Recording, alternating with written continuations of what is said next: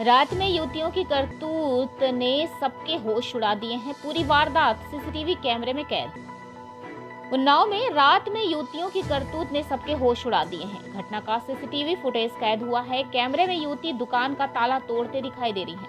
फ़िलहाल पुलिस मामले की जाँच पड़ताल की बात कर रही है। बता दें कि कंचन नगर पिकेट पुलिस से चंद कदम दूरी पर है। वही कंचन नगर पुलिस पिकेट के पास रहने वाले राहुल वर्मा की माँ वैष्णो ज्वेलर्स के नाम से सोने चांदी की दुकान मेन रोड पर है। उन्होंने बताया कि वह दुकान में ताला बंद कर चले गए। अज्ञात चोरों ने दुकान के शटर पर लगे ताले तोड़ दिए। जब राहुल दुकान खोलने पहुँचा तो दुकान के ताले टूटे दिखे। उनके होश उड़ गए। उन्होंने घटना की जानकारी गंगा घाट, कोतवाली पुलिस को दी। इस दौरान घटना की सूचना मिलने पर पहुँची पुलिस ने मामले की जाँच पड़ताल शुरू कर दी है, जिसके बाद दुकान के बाहर लगे सीसीटीवी फुटेज खंगाले जा रहे हैं, जिसमें दुकान के पास रात लगभग एक बजे तीन महिलाएँ घूमती दिखी।